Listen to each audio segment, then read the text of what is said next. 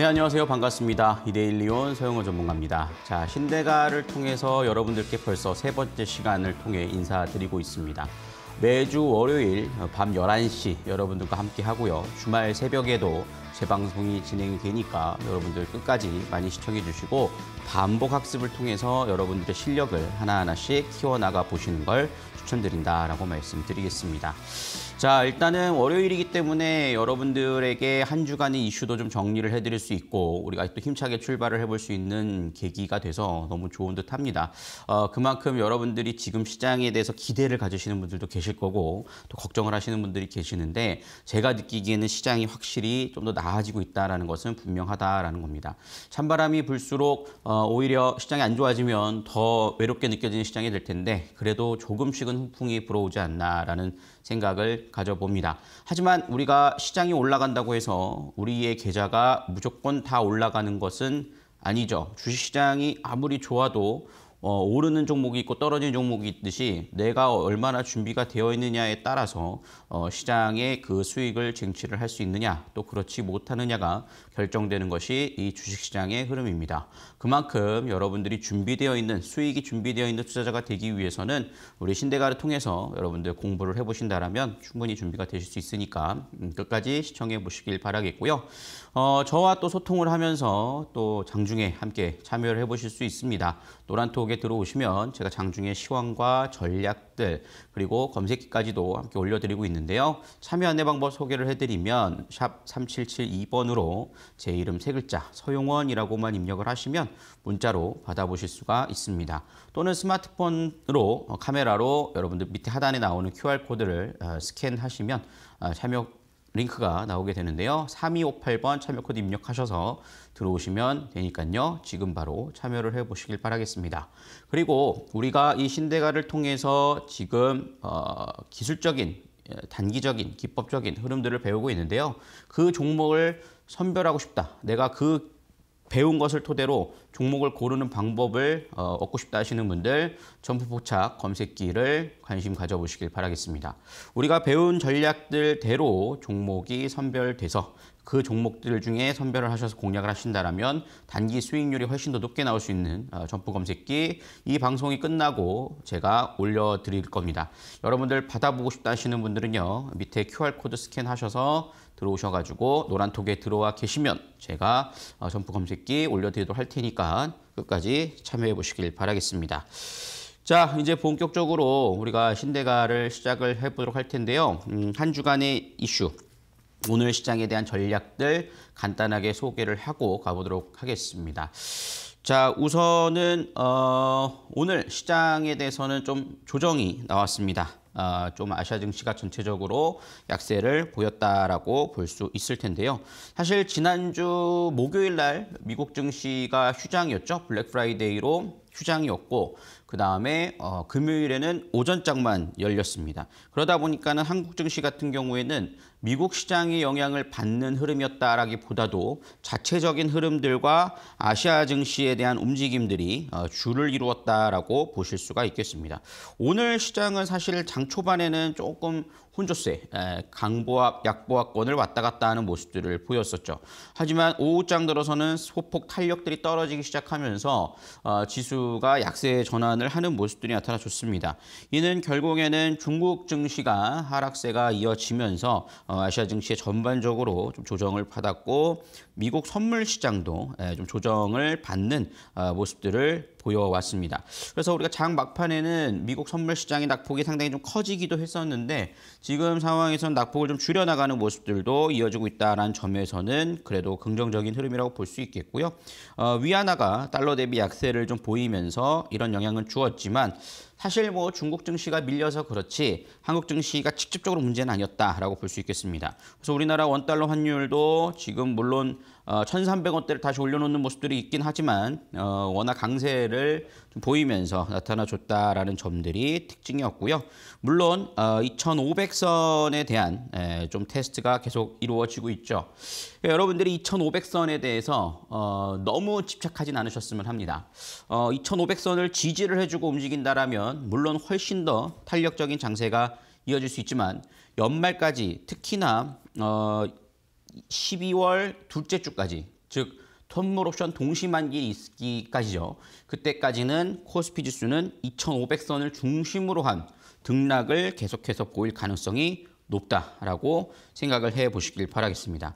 그래서 이런 시장에서는 어, 좀 테마주 성향이 굉장히 강하게 나타나 주게 됩니다. 최근 특히나 이슈가 되는 것들은 뭐 정치 테마주, 뭐 인맥 관련된 종목들 이런 부분들도 움직이고 있는데 오늘은 반대로 좀 약세가 좀 보이는 반면에 최근에 다시 떠오르고 있는 종목들은 신규 상장된 얼마 신, 규 상장되지 않은 얼마 되지 않은 에, 그런 종목들의 상승세가 굉장히 강하게 이어지는 모습들입니다. 그래서 뭐 두산 로보틱스라든가 뭐 이런 종목들 어, 상당히 좀 강하게 움직이는 모습들을 보여주고 있죠. 어, 신규 상장 종목들 같은 경우에는 어, 이렇게 수급이 몰리는 이유는 어, 매집이 얼마 돼 있지 않은 상태이다 보니까 여기서 외국인과 기관들의 수급들이 조금이라도 붙어준다라면 상승세가 굉장히 강하게 이어지는 모습들을 보여주고 있는 상황이거든요. 예, 그런 특징들이 이어지다 보니까 신규 상장 종목들의 상승세가 굉장히 강하게 이어지고 있는 상황입니다. 그래서 여러분들도 내가 직접 IPO를 참여하지 않았다 하더라도 신규 상장 종목들을 단기 trading 관점으로 접근을 하시는 분들도 상당히 예, 많을 거라 생각이 듭니다. 특히나 뭐 대표적인 종목으로는 에코프로 머티리얼즈가 에코프로나 에코프로 BM이 떨어진데도 불구하고 상승을 하는 모습들을 보이는 만큼 수급들이 쏠리는 모습들을 보이면서 대장주의 역할을 바꿔가는 모습들이 나타나주고 있죠. 하지만 여러분들 우리가 캔들에서 배웠듯이 어, 상단에서 영망치형 패턴, 즉 강한 윗꼬리가 나오는 모습들이 이루어지게 된다라면 상당히 큰 폭으로 하락세가 나올 수 있다라는 점들도 어, 생각해 보셔야 될 겁니다. 그래서 최근 흐름들을 보시면 이렇게 상승세가 이어졌다가 윗꼬리 달린 모습들, 두산 로보틱스의 경우를 좀 흐름들을 보시면 윗꼬리 달린 모습들이 이루어지는데 물론 마이너스 전환이 되지는 않았어요. 하지만 윗꼬리가 달린 상태에서의 어, 차익 실현 매물을 조심하셔야 된다. 특히나 신규 상장 종목들은 여러분들이 체크를 해보셔야 될 게 뭐냐면 한 달과 3개월입니다. 처음 상장되고 딱 한 달이 지나고 3개월이 지나고 6개월이 지난 시점 그 자리에서는 어, 보호예수 물량들이 풀릴 수가 있습니다. 이거를 놓치고 계시는 분들이 정말 많은데요. 보호예수 물량이 풀리게 되면 강한 물량들이 쏟아져 나오기 때문에 그런 점에 대해서는 굉장히 조심을 하셔야 되기 때문에 상승 추격 매수는 좀 조심하셔야 될 부분이고 오히려 아직 순환매가 안 나오는 신규 상장 종목들에 대해서 관심을 가져보시는 게 훨씬 더 전략적이지 않을까라고 생각을 합니다. 자, 그래서 음, 이런 점들을 좀 주요적으로 체크를 해보실 필요가 있겠고요. 어, 이제 우리가 월요일 시장이 마무리 마무리가 됐죠. 이제 화요일부터 금요일까지 시장에서 우리가 중요하게 생각해 봐야 될 부분은 이번 주 목요일입니다. 어, 한국은행에서 금통위를 어, 준비하고 있죠. 지금 현재 금리가 동결될 것이다 라는 예상을 하고 있습니다. 이제는 미국이 추가 금리 인상은 뭐 거의 없다라고 확실시되고 있는 상황이다 보니까 우리나라는 금리 동결 또는 언제 인하할 것이냐 이거를 고려해야 될 시기인 만큼 어, 한국은행에서 금통위는 금리 동결로 어, 자리를 잡을 것으로 예상이 되고 목요일 날 또 미국에서는 PC 물가 지표가 발표됩니다. 하지만 이런 이슈들이 오히려 시장에 좀 긍정적인 영향을 미칠 가능성이 높기 때문에 우리나라 시장은 목요일까지 전에는 월, 화요일, 수요일 이런 장에서는 좀 지지부진하다가 어, 목요일 이후에는 주 후반에는 오히려 상승세가 이어질 수 있다는 점들을 염두해 보시면서 종목 접근을 해나가 보시는 게 좋지 않을까라고 말씀을 좀 드릴 수가 있겠습니다. 자, 그래서 이런 점들을 중점적으로 어, 좀 생각을 해 보시고 전략적으로 살펴보시면 좋겠다라고 말씀을 좀 드릴 수가 있겠고요. 어, 오히려 이제 업종에 대해서 좀 더 디테일하게 우리가 어, 좀 살펴볼 필요가 있다라고 말씀을 좀 드릴 수 있을 텐데요. 아까 전에 제가 말씀드렸죠. 신규 상장 종목에 대한 순환매들을 노려볼 필요가 있다라고 말씀을 드릴 수 있을 텐데 이미 상승한 종목에 대해서는 조금 조심해야 될 부분들이 분명히 있다라고 말씀드립니다. 물론 에코프로 머티리얼즈나 두산 로보틱스 같은 경우 우리가 보통 에코프로 BM하고 또는 어, 레인보우 로보틱스 이런 종목하고 많이 비교가 됩니다. 어, 그런 거에 비해서 시가총액이 아직은 멀었다라는 시각도 분명히 있어요. 하지만 이 두 종목들을 보면 레인보우 로보틱스나 어, 에코프로 머티리얼즈의 실적 대비를 봤을 때는 시가총액이 상당히 크다라는 점들도 분명히 있습니다. 그렇기 때문에 지금은 이 두 종목 같은 경우는 보유자 영역이다라는 점들을 참고해 보시면 좋을 것 같고요. 오히려 지금 현재 구간에서 신규 상장되어 있으면서 성장성이 모멘텀이 있는데 아직까지 좀 시세가 덜 나온 종목들을 몇 가지 좀 살펴볼 수 있을 텐데 첫 번째로는 한싹이라는 종목들도 음, 살펴보실 수가 있겠습니다. 최근 한싹 같은 경우도 지금 현재 순환매의 되돌림들이 이어지고 있는 상황입니다. 자, 10월 4일날 상장이 됐고 지금 이제 3개월이 채 되지 않았죠. 그렇기 때문에 3개월이 되기 전까지 연말에 대한 시세들을 한번 좀 노려볼 수 있는 자리들은 나온다라고 볼 수 있겠고요. 오늘 이 종목 같은 경우도 장 초반에 큰 뉴스가 없었음에도 불구하고 12% 넘는 상승세가 이어지기도 했습니다. 물론 마이너스로 전환된 모습들에서 하락 전환이 이루어졌지만 눌림목 자리를 이용해서 공략해 보신다라면 충분히 좀 다시 한번 우리가 IPO 신규 상장 종목의 순환매로서 노려보실 수 있는 종목이 된다라고 말씀을 충분히 드릴 수가 있겠고요. 두 번째 종목으로는 스마트 트레이딩 시스템 스마트 레이더 시스템이라고 좀 볼 수 있을 텐데요. 이 종목이 정확하게 11월 22일자로 현재 신규 상장이 어, IPO 보호 물량이 해제가 됐습니다. 지금 현재 관에서 다시 상승세가 이어지고 있는 상황이죠. 윗꼬리에 대한 물량 소화가 이루어지게 된다면 이 종목 역시 적어도 중간 이상 가격, 하락의 최대한 중간 이상 가격인 2만 원 이상까지도 한번 늘어볼 수 있는 종목이니까 신규 상장 종목에 대해서 관심을 갖고 있다 하시는 분들은요. 오히려 추가 추경 매수보다는 이런 종목들 위주로서 살펴보시면 좋을 것 같고요. 우리가 기술적으로도 볼 때도 윗꼬리가 달리긴 했으나 눌림목 자리에서 이동평균선들의 정배열 자리를 만들고자 하는 수렴 구간에 놓여 있으니까 우리가 지난 2강 시간에 배웠죠. 그런 점들에 따라서 추가 상승세가 이어질 수 있다라고 말씀을 드릴 수가 있겠습니다. 자, 그래서 이런 부분들을 여러분들이 좀 관심 있게 살펴보시면 좋을 것 같고요. 어, 제가 이러한 종목들에 대해서 좀 더 디테일하게 분석을 해드릴 수 있는 기회가 어, 내일 있습니다. 자, 연말을 따뜻하게 보내는 대시세 종목 공개라는 주제를 가지고 내일 오전 8시 30분부터 오후 3시 30분까지 온라인 공개 방송을 진행을 합니다.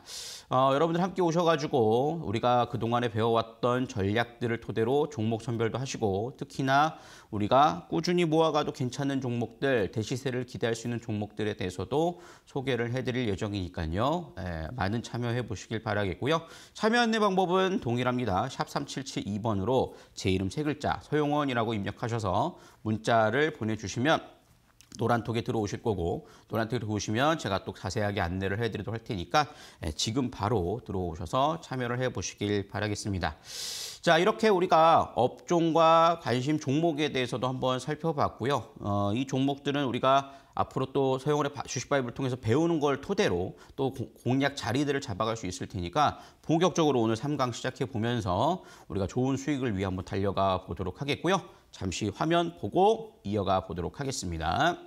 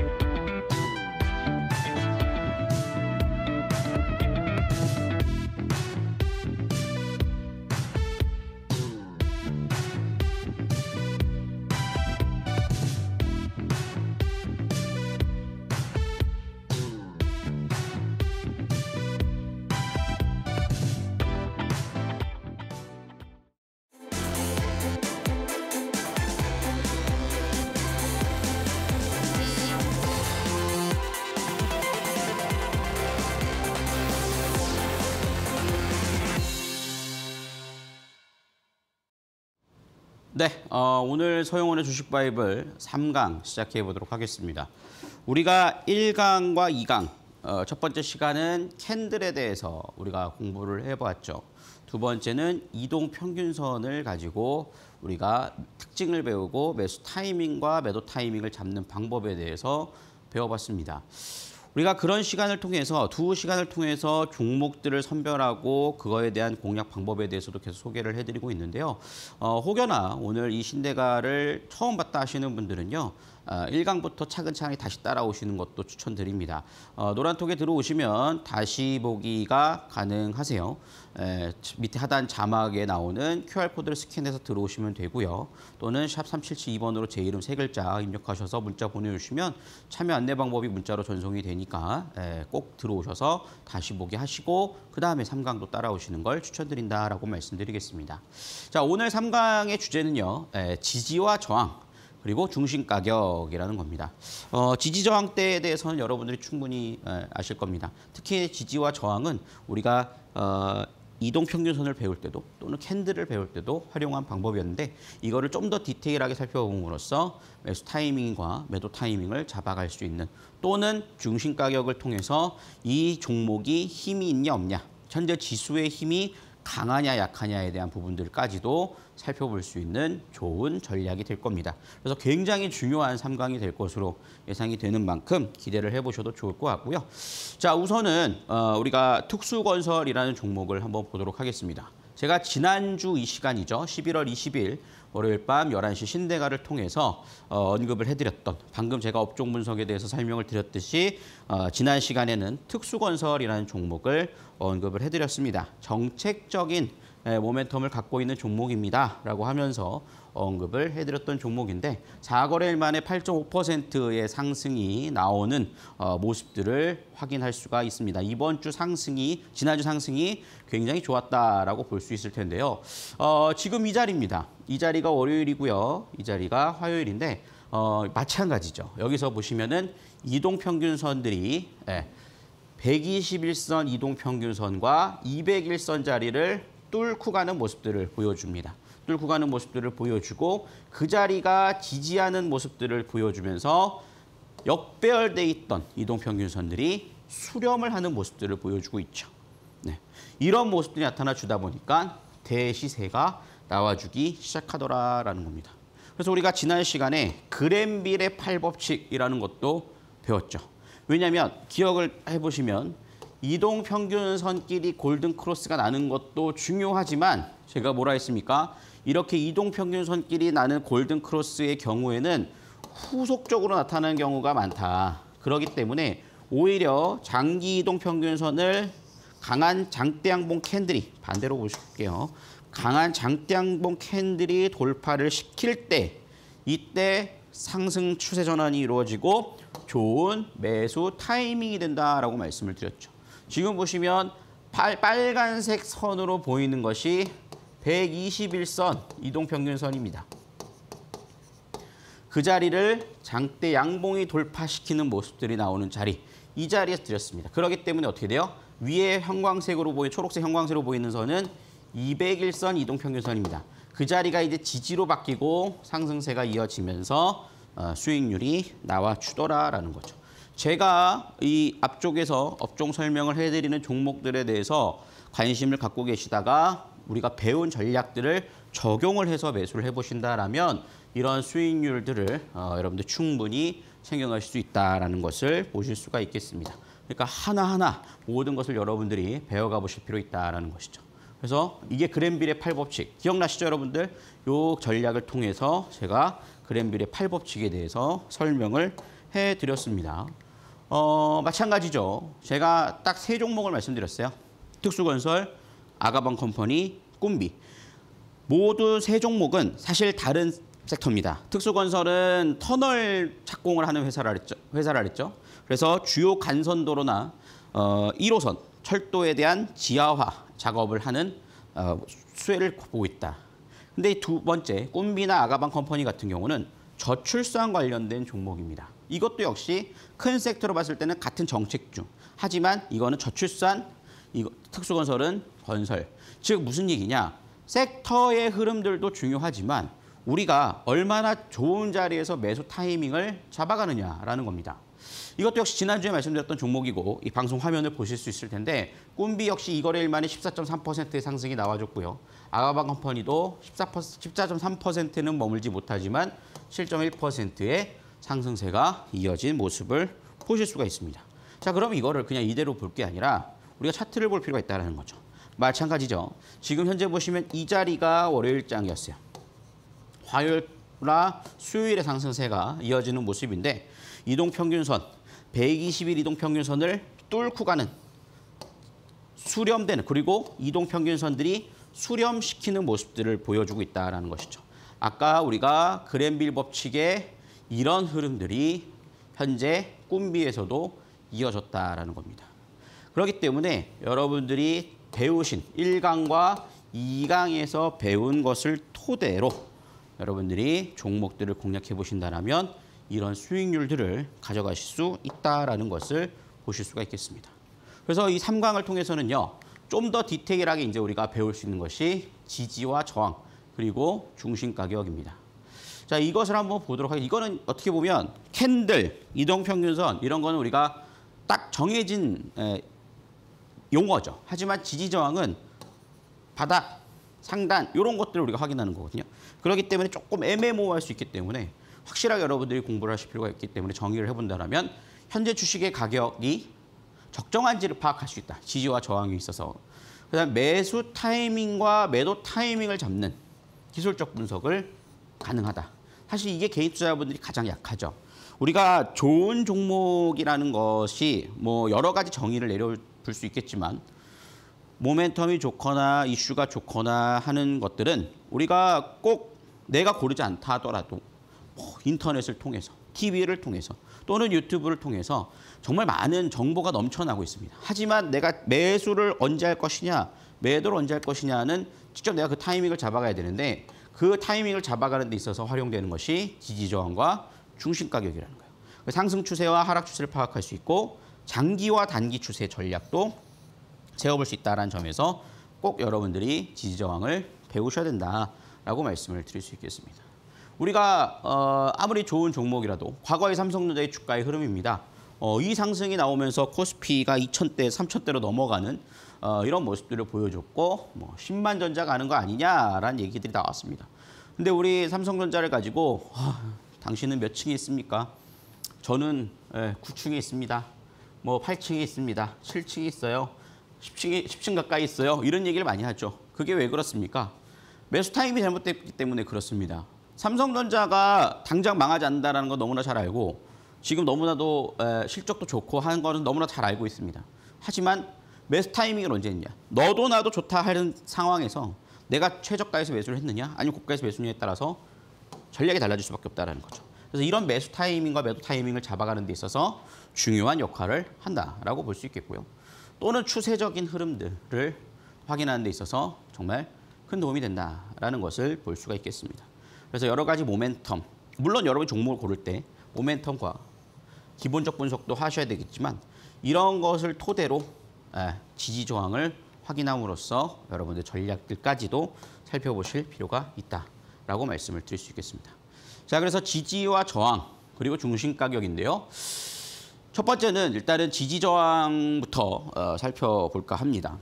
이게 이제 지지선과 저항선이라는 것을 볼 수 있는 가장 기본적인 그림이라고 볼 수 있겠죠. 여러분들 이거를 캡처를 해놓고 보시는 걸 추천드리는데요. 주가가 처음에 상승세가 이어지게 되면 다시 한번 조정이 나오고 되돌리는 자리, 이런 자리가 지지선이다라고 볼 수 있겠습니다. 그러면은 이 한 번 꺾이는 자리를 만들었다라고 한다라면 이제 상승세가 나오고 어느 고점이 올라가게 되면 비싸다라는 인식이 되겠죠. 그러다 보니까는 팔고자 하는 수급들이 들어옵니다. 근데 그 팔고자 하는 수급들이 계속 매도가 나오는데 어느 선에 도달하고 나니까 어, 다시 저렴하다 예, 라는 시각이 반영이 되는 거죠. 그러다 보니까 이 자리에서 되돌림이 나와요. 그럼 우리가 이걸 뭐라 그래요? 쌍바닥 자리라고도 표현을 하죠. 그게 이제 두 점을 연결한 저점에 두 점을 연결한 것을 지지선, 고점에 두 점을 연결한 것을 저항선이라고 하죠. 아무래도 이제 여기에 그러면은 매도가 나갔다라는 것은 누군가는 매수를 했다라는 거고요. 누군가는 매도를 했다라는 것의 반증이죠. 그러면은 여기서 매수한 사람들은 여기까지 떨어졌기 때문에 이 굉장히 힘든 시간을 감내해야 합니다. 그러다 보니까는 제자리가 돌아왔을 때 이 자리에 본전이 들어왔을 때 팔고자 하는 심리적인 작용이 이 작용을 하게 되는 것이죠. 그러다 보니까 꺾여 내려가는 거예요. 그러니까 이게 돌파가 됐다라는 것은 여기에 심리적으로 힘들어하던 수급들이 모두 해소가 됐다라는 거예요. 지지선에서는 모든 힘든 심리들이 해소됐다라는 것을 반증해 주는 흐름입니다. 저항선은 모두가 힘들어하고 있다라는 것을 볼 수 있죠. 이건 우리가 지난번 시간에 캔들 시간에 윗꼬리와 아랫꼬리에 대해서 배웠을 때도 동일하게 적용을 했던 전략이라고 보실 수가 있겠습니다. 그래서 돌파가 나오고 그 다음에 이 한 단계 레벨업을 하면서 이것이 이제 채널 매매라고도 하죠. 네, 한 단계 레벨업을 하면서 예, 이 자리에서 이제 다시 한번 지지 저항을 만들어 가죠. 그러니까 과거에 이 자리를 우리가 여기가 돌파가 나왔다라는 것은 여기에 대한 심리 좋지 않은 심리들 이런 부분들을 다 해소했다라는 거라고 말씀드리지 않았습니까? 해소가 되니까 어떤 현상을 보이냐면 이 저항선이 앞으로는 지지선으로 변경이 되더라라는 거죠. 그러니까 이 자리를 지지해주고 다시 한번 상승을 해주고 상단의 저항선을 만들어낸다. 이런 과정들을 반복해 나가면서 주가는 상승을 하고 하락을 하는 것이 되는 것이다라는 겁니다. 그래서 여러분들이 주식의 차트를 쭉 바라볼 때 이렇게 지지 저항선을 긋는 연습들을 하시는 걸 추천드립니다. 그러면 왜냐하면 우리가 이렇다는 거예요. 우리가 시험 공부를 한다라고 가정을 한번 해봅시다. 뭐 예를 들어서 처음부터 끝까지 시험 범위가 있는데 그냥 쭉 시험 범위를 보는 것보다는 우리가 목차를 봄으로써 분류를 해나가 볼 필요가 있는 거죠. 그러면서 어떤 주제로 움직이고 어떤 주제로 공부를 해야겠구나라는 것을 먼저 파악한 상태에서 바라보는 것과 그냥 앞에서 바라보는 것은 효율성이 다를 수밖에 없습니다. 그렇듯이 주식도 마찬가지예요. 여러 가지 캔들의 움직임들을 바라볼 때 쭉 멀리서 보고 그냥 어 저거는 저래 쭉 큰 눈으로 보려는 것도 중요하지만 우리가 이렇게 지지와 저항선을 그림으로써 어느 정도 단원을 분류를 해줄 필요가 있다는 거죠. 그러면 거기서 지지선이 의미하는 것과 저항선이 의미하는 것이 매물과 좋은 매물과 나쁜 매물을 의미하는 거기 때문에 구분을 지을 수 있다는 거예요. 그러면 이 가격이 어디서 지지를 받고 저항을 받을 것이다라는 것을 확인해 볼 수 있다는 것이죠. 그래서 여기서 우리가 매수 타이밍과 매도 타이밍을 잡을 때 활용하는 방법들까지 살펴드린다면 지지선에서 지지선에서 turnaround 되는 시점 그 자리가 매수 타이밍이고요. 저항선에서 꺾여 내려오는 시점이 매도 타이밍이 된다. 특히나 가장 중요한 자리, 제가 가장 선호하는 자리는요. 이 초록색으로 표시된 매수와 매도가 동시에 이루어질 수 있는 즉 매수가 되는 자리는 저항선을 돌파하고 지지로 바뀌는 자리. 이 자리가 가장 핵심 매수 자리가 될 수 있다라는 것이죠. 그래서 이 구간대를 여러분 잡아내는 데에 열중을 하시는 것이 가장 매수 타이밍을 잘 잡는 전략이 된다라는 겁니다. 여기에 이제 그러면은 이런 경우가 있어요. 어, 전문가님 저 여기서 샀는데 여기서 매도했어요. 근데 지지를 받고 또 올라가 버리네요. 그럼 어떻게 하죠? 여기서 산 사람은 어떻게 해야 될까요? 팔았는데 이럴 때 이제 분할로 대응을 하는 거죠. 그럼 여기서 일부를 매도했다가 다시 일부를 천입을 시킬 수도 있는 거고요. 여기서 완매도를 했지만 다시 재매수를 할 수 있는 자리가 나올 수도 있고 반매도했다가 지켜보는 흐름들도 가져갈 수 있다. 그러니까 우리가 캔들, 이동평균선, 지지저항까지 배움으로써 예, 기술적인 흐름들을 배워갈 수 있다는 것이죠. 그래서 가장 중요한 저항선이 지지선으로 바뀌고 그 변곡점을 돌파하는 흐름이 나온 상태에서 요 지지가 바뀌는 자리, 저항이 지지로 바뀌는 자리, 이 자리가 매수이자 매도할 수 있는 타이밍인데 가장 중요한 맥점 자리다라는 겁니다. 아까 전에 제가 말씀드렸던 특수건설의 경우도 뭐예요? 이 120일 이동평균선이 지나가는데 캔들이 뚫고 갔죠. 이동평균선도 지지저항 역할을 한단 말이죠. 근데 뚫었어요. 근데 다음 날 조정을 받는데 어떤 조정을 받느냐? 이 자리에서 아래 꼬리를 탈아주는 지지대로 바뀌는 자리. 이런 자리가 매수의 핵심 자리다라는 거죠. 그래서 제가 종목을 선별해 드릴 때 이런 자리가 나올 수 있는 자리들을 매수 타이밍으로 잡아 드리는 겁니다. 네. 근데 이제 여기다가 업종, 그다음에 모멘텀, 수급 이런 것들을 적용을 해서 매수 타이밍을 잡아가는 거죠. 주식이라는 게 그렇게 어렵지 않습니다. 이런 식으로 여러분들이 한 층 한 층씩 레이블을 쌓아간다 생각하신다라면 종목을 압축해 나갈 수 있어요. 주식이 굉장히 어떻게 보면 우리나라 주식 시장만 해도 2천 개가 넘는 종목이기 때문에 어, 이것을 다 어떻게 골라라고 생각을 하실 수 있어요. 그렇지만 이런 기준을 갖고 주식에서 수익을 내는 방법은 상당히 다양합니다. 꼭 이 방법만 하셔야만이 수익이 나요라는 건 아니에요. 그렇지만 한 가지 방법이 됐더라도 나에게 맞는 방법을 갖고 있고 그것에 적용을 시켜서 종목들을 선별을 하는 거예요. 그래야 여러분들이 시장에 끌려다니지 않고 내 기준에 맞춰서 수익을 가져갈 수 있게 되는 거거든요. 이게 주식이거든요. 그렇기 때문에 여러분들이 이런 것들을 배워 가시는 겁니다. 그죠? 이건 저의 방법인 거고 제가 이렇게 하다 보니까 수익이 잘 나더라라고 하기 때문에 교육을 해드리는 겁니다. 그래서 이런 방법들을 여러분이 하나의 나의 무기를 만들어 가시는 걸 추천드린다라고 말씀드릴 수 있겠고 이런 것들을 여러분들 선별할 수 있게끔 또 편하, 편리하게 매매할 수 있게끔 만들어 드리는 게 검색기죠. 그래서 제가 점프 포착 검색기를 드리는 이유가 이런 종목들을 잡아낼 때 네, 여러 사용하는 방법들을 올려드리는 겁니다. 그래서 점프 포착 검색기를 받아보고 싶다 하시는 분들은요. 밑에 하단 QR코드를 스캔하셔서 들어오시면 됩니다. 네, 들어오시고 제가 이 방송이 끝나고 바로 네, 점프 포착 검색기를 올려드릴 거고 네, 설정 방법도 영상으로 제가 사용 방법을 올려드릴 거니까 지금 바로 들어오셔서 함께 해보시는 걸 추천드립니다. 자, 그래서 이 자리가 굉장히 중요하다라고 말씀을 드릴 수 있겠고요. 실전에서 적용을 해보면 이렇게 색깔로 나눌 수 있죠. 밑에 하단 자리가 지지라인 대가 형성이 되면서 에, 오랜 기간 박스권이 형성되는 모습들을 볼 수 있습니다. 주식이라고 하는 것은 일시적으로는 이탈이 나올 수 있어요. 하지만 이 자리만 이탈을 하면 자꾸 살려는 수급들이 존재를 하고 팔려는 수급들이 존재를 한다는 근데 살려는 수급이 더 강하니까 여기를 되돌리는 모습이 나타나 주는 거예요. 그리고 나서 어떻게 돼요? 돌파가 나오고 지지로 바뀌는 자리. 이 자리입니다. 이 자리. 이 자리가 나오니까 주가가 강하게 상승을 하더라라는 거죠. 그러니까 여러분들은 물론 이런 자리를 통해서도 어, 매매를 하실 수 있겠죠. 하단에 잡아서 고점에서 매도를 하고 하단에 잡아서 고점에서 매도하고 이런 매매도 가능하겠지만 사실 우리가 매번 이 파동을 전부 다 정말 외줄 줄타기 하듯이 작두를 타듯이 딱 맞출 수는 없는 거죠. 그러니까 이런 자리들이 존재한다는 걸 확인을 했으면 째려보고 있는 겁니다. 그리고 돌파가 나오고 지지가 되는 자리. 이런 자리에는 확률이 굉장히 높다. 확률이 굉장히 높다라고 말씀드릴 수가 있겠어요. 그래서 그렇기 때문에 이 초록색 동그라미를 여러분들이 무엇보다도 살펴보셔야 된다라고 말씀드릴 수 있겠고요. 이러한 박스권이 형성되는 지지 저항도 존재를 하지만 특히나 여기서 나타난 자리가 뭐예요? N자 파동입니다. N자 파동. 이거를 여러분들이 보는 거에 익숙해지셔야 돼요. 이게 상승 N자도 존재를 하고요. 하락 N자도 존재를 합니다. 그러니까 하락 N자가 나올 때는요. 어, 반등이 나온다고 해서 good! 여기서 이제 무조건 full매수 이게 아니에요. 지지를 보여주고 되돌리 이렇게 쌍바닥 자리를 확인하고 되돌리는 자리에서 매수가 이루어져야 됩니다. 근데 이렇게 외바닥 자리, 즉 N자가 그려지는 자리에서 하락 N자가 그려진 자리에서는 이 자리가 이탈될 때 추가 하락이 이루어질 수 있다. 이런 것을 꼭 분명하게 생각해 보셔야 되고 반대로 상승 자리에서는 예, 지지 저항을 확인해 볼 수 있다. 음, 이게 굉장히 중요합니다.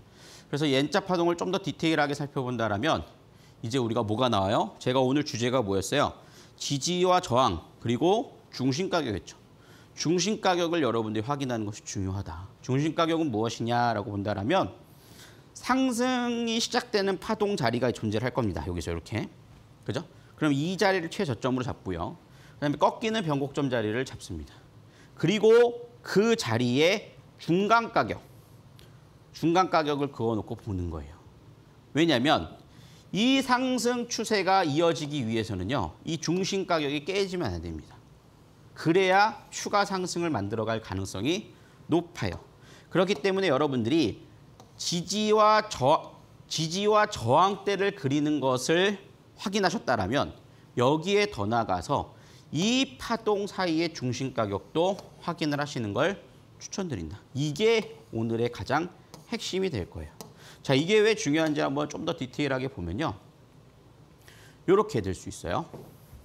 자, 밑에 보시면 파란색으로 형성이 돼 있고 위에 보시면 빨간색으로 형성이 돼 있죠.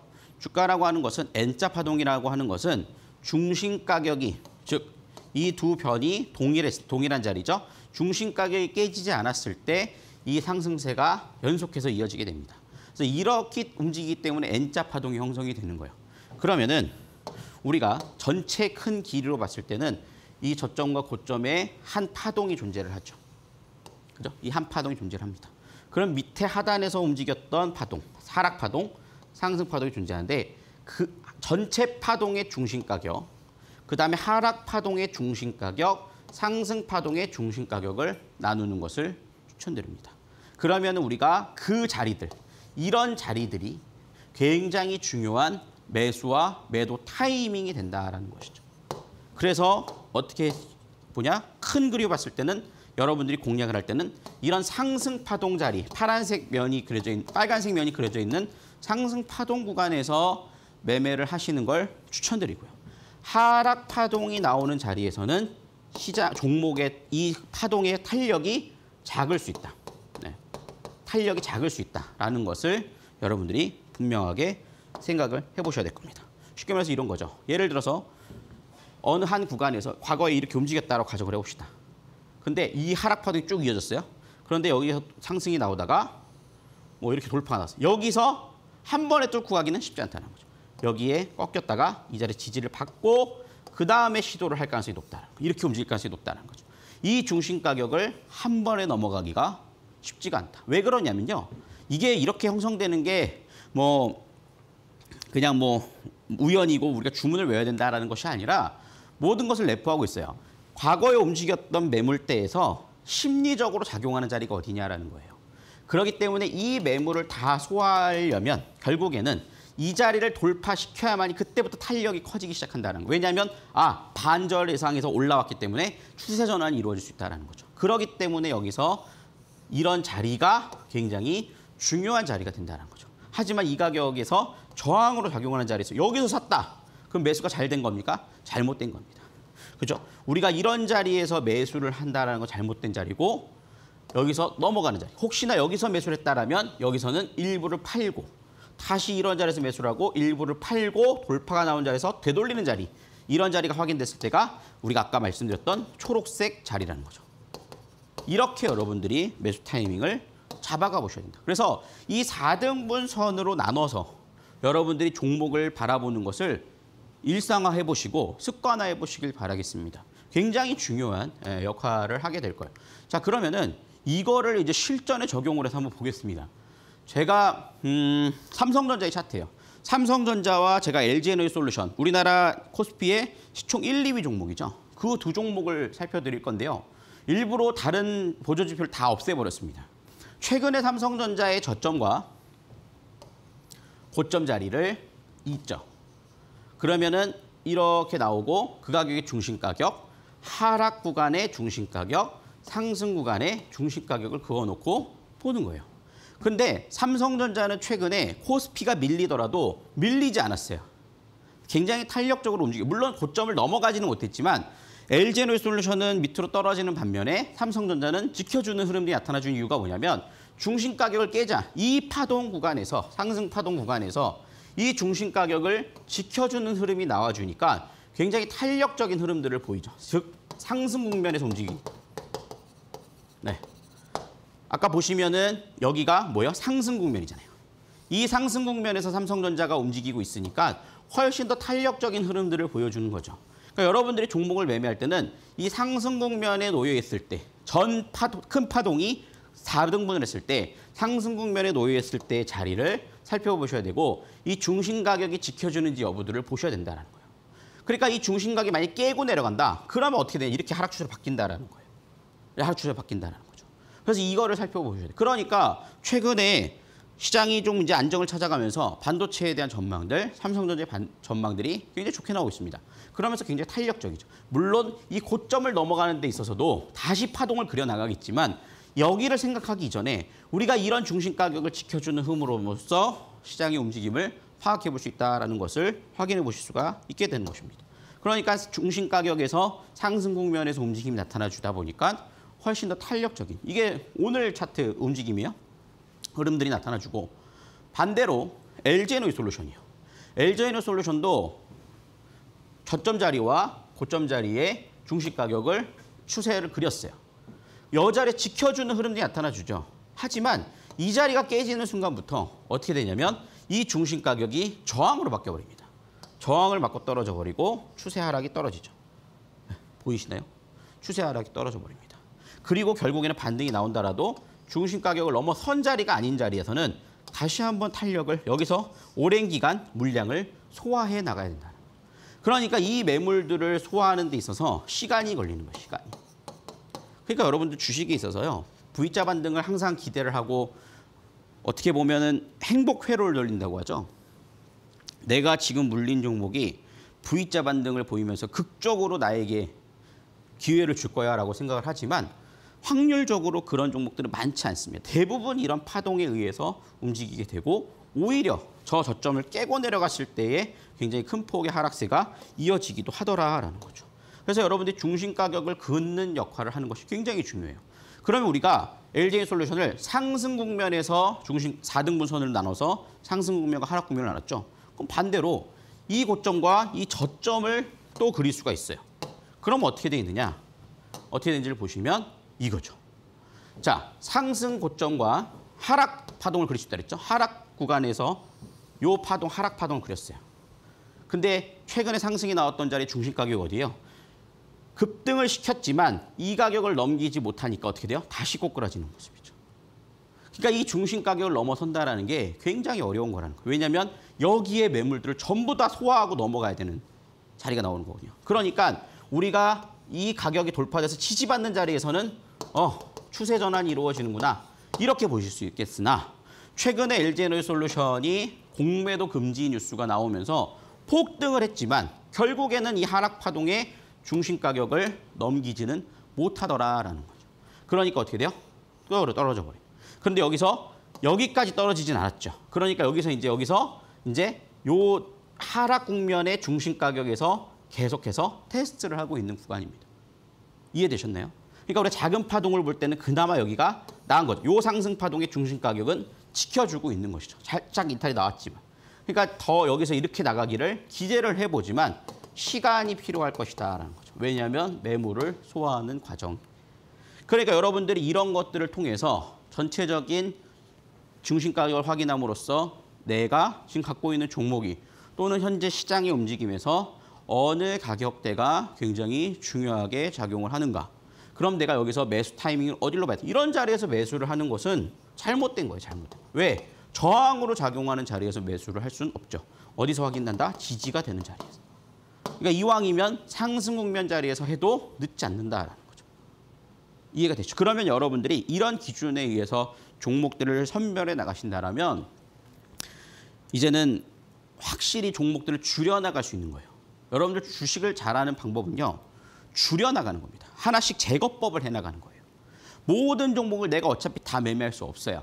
그렇기 때문에 내 기준에 맞는 종목들, 아닌 종목들을 쳐내는 거죠. 그리고 난 다음에 그 안에서 종목을 선별하는 것이 가장 안정적이면서 좋은 전략이 될 수 있는 거예요. 그런 것들이 여러분들 검색기를 통해서도 정리를 해나갈 수 있고 하는 거죠. 그래서 여러분들 어, 노란톡에 지금 들어오셔서 저의 전략들도 받아가시고요. 검색기도 받아가시는 걸 추천드립니다. 밑에 하단 어, QR코드 스캔해서 들어오시면 되고요. 또는 샵 3772번으로 어, 제 이름 세 글자 입력하시면 또 노란톡 들어오실 수 있으니까요. 많은 참여해 보시고 요거와 더불어서 이제 실질적으로 종목을 고르는 방법도 배우겠지만 한 시간 시간이 굉장히 작습니다. 그렇기 때문에 제가 온라인 공개 방송을 통해서 여러분들께 어, 이렇게 자세한 종목들 매수 타이밍까지 잡아드릴 건데요. 내일 연말을 따뜻하게 보내는 대시세 종목에 대해서 공개를 해드리면서 이런 매수 타이밍도 한번 공부해보는 시간 가질 겁니다. 참여 안내 방법은 동일하고요. 어, 11월 28일 화요일 오전 8시 30분부터 오후 3시 30분까지 진행이 되니까 중간에 시간이 안 되시는 분 중간에라도 들어오셔서 열정을 한번 보여보시길 바라겠습니다. 그러면 여러분들 이런 매수 타이밍을 잘 잡아가실 수 있을 거예요. 자 그러면은 이제 우리가 전체적인 큰 그림을 보는 거시적 방법을 택했다라면 이제는 미시적 방법을 통해서 좀 더 디테일하게 본다라면 candle 배웠죠. candle도 하나의 파동이에요. 하나의 파동입니다. 그러면 이 candle 장대양봉이 나온 자리에서 중심 가격을 지켜주는 자리가 나올 때 그때 추가적인 상승이 나오는 경우들이 많다라는 것을 보실 수가 있겠어요. 이런 걸 통해서 여러분들이 제일 좋아하시는 단타 매매가 가능한 거죠. 지난 시간에 제가 드렸던 꿈비가 딱 이 케이스입니다. 딱 이 케이스로 움직였던 중심 가격을 이탈하지 않았을 때 그래서 이런 파동들을 적용하는 4등분선을 적용하는 방법들은 작게 또는 크게 적용을 해도 상관이 없다라는 것을 보실 수가 있겠습니다. 이것도 이렇게 된 거죠. 우리가 장대 양봉을 봐요. 일봉상으로. 하지만 분봉상에서는 상승 파동의 중심 가격이 지켜주면서 움직였을 가능성이 높습니다. 그러니까 이 자리가 이제 이탈하느냐 안 하느냐에 따라서 단기적인 추세가 연속되느냐 또는 연속되지 못하고 떨어지느냐가 되는 것이죠. 그러니까 어떻게 보면 여러분들이 이런 자리 조정 자리를 이용해서 분할 매수를 한다라면 이렇게 분할 매수가 되겠죠. 근데 상승이 나오면 수익이 나오지만 하락이 나왔을 때 중심가에 깨고 내렸을 때 어디까지 떨어질 수 있다? 여기까지 떨어질 수 있다라는 것을 염두에 두니까 손절 또는 분할 매수 기회로 잡아갈 수 있게 되는 것이죠. 이런 식의 흐름들이 이어질 수 있는 게 딱 이런 종목들이죠. 자 보시면 제가 11월 20일 날 이것도 지난주 월요일입니다. 예, 서용원의 주력 종목이라고 해서 어, 굿머니 세븐에서 제가 아침에 매주 월요일 아침에 종목들을 소개를 하죠. 오늘 시장에서 놓치지 말아야 될 종목 제주 반도체에 대해서 언급을 해드렸습니다. 4거래일 동안 제주 반도체가 24.2%를 상승을 해줬는데 이 종목 제가 여러분들 이 방송 중에서 좀 짧게 하거든요. 이 방송 중에서 여러분들 중심 가격을 지켜주는 자리를 확인해 보셔야 돼요. 이렇게 말할 수 없죠. 그러니까 모멘텀에 대해 설명을 드려요. 그렇지만 매수 타이밍은 어디서 봐야 되느냐? 우리가 이런 기술적인 흐름들을 통해서 잡아가야 된다는 거죠. 제가 언급을 해드렸던 자리가 이 자리입니다. 어, 이 자리가 무슨 중심 가격이야 생각을 할 수 있어요? 이 파동 자리, 이 파동의 중심 가격을 지켜줘야 해야, 지켜줘야 추가 상승이 나오는 거예요. 깨지면 매도하고 나오셔야 돼요. 그러니까 이 중심 가격이 굉장히 중요하다. 근데 여기서 보시면은 candle이 도지형 can, 망치형 candle, 거래량 감소하죠. 우리가 이, 지난 시간에 첫 번째 시간에 배웠습니다. 그리고 각 이동 평균선들이 수렴되고 확장 자리에 놓여 있습니다. 이거 2강에서 배웠습니다. 우리가 1강에서 배웠을 때와 2강에서 배웠던 기술들을 적용할 수 있어요. 그리고 어떻게 돼요? 이게 중심 가격이죠. 하락 파동과 상승 파동의 중심 가격을 지켜주니까 이 자리가 이탈될 뻔했지만 이 자리가 지켜주는 흐름들이 나타나 주니까 이 상승세가 나와주면서 이런 수익률들이 나와주더라라는 거죠. 그러니까 여러분들이 헷갈리실 수 있어요. 어 이거 그러면은 망치형 캔들도 봐야 되고 거래량 감소도 봐야 되고 이동 평균선도 봐야 되고 그러면서 중심가격을 지켜주는 걸 봐야 돼? 이렇게 있는데 여러분들이 오늘 처음 들으셨기 때문에 그렇습니다. 왜냐하면 이건 저의 전략이에요. 여러분들이 공부를 하셔야 내 걸로 체득을 하셔야 되는 거예요. 근데 저는 그냥 보면 다 보여요. 이렇게 딱딱딱 한 번에 다 보이는 겁니다. 그러니까 이렇게 여러분들이 활용을 하시면 굉장히 큰 도움이 될 수 있을 거예요. 그렇기 때문에 저는 이 신대가를 통해서 여러분들이 공부를 하시는 거 좋습니다. 하지만 반복해서 보십시오라고 하고 그것을 실전에 연습해 보셔야 된다라고 말씀을 드린 이유가 여러분들의 것이 되기를 원해서 그렇습니다. 이건 저의 것이죠. 그렇지만 이거를 여러분들이 또 활용할 수 있을 때만큼 체득을 하셔야 된다는 거죠. 그래서 이 중심 가격을 여러분들이 활용을 해보시는 걸 추천드려요. 지지와 저항을 이용해서 매수 타임을 잡고 저항선 돌파 시 매수도 좋지만 돌파 후 눌림목을 누리고 상승 추세 영역 4등분 선에서 상승 추세 영역, 하락 추세 영역 그 자리에 중심 가격을 다시 그을 수 있죠. 그 자리를 통해서 구분을 하고 하락 추세 자리에 놓여 있는 종목들은 단기적으로 대응을 하고 상승 추세 영역에 놓여 있는 종목들은 중장기 매매도 가능하다라고 드실 수가 있겠습니다. 자, 그래서 이렇게 정리를 해 드릴 수 있겠고요. 우리가 1강과 3강을까지 하나의 여러분들이 계속 복기해서 공부를 해 나가시는 걸 추천드립니다. 그래서 노, 노란톡에 오셔가지고 다시 보기를 하시고요. 샵 3772번으로 제 이름 세 글자만 보내시면 들어오실 수 있으니까 지금 바로 들어오셔서 다시 보기를 하시고요. 반복해서 공부를 함으로써 여러분들에게 꼭 성공 투자의 전략이 되셨으면 하는 바람입니다. 자, 신대가 서용원의 주식 바이블은요. 여기서 마무리하도록 하겠고요. 내일 온라인 공개 방송을 통해서 또 인사드리도록 하겠습니다. 감사합니다.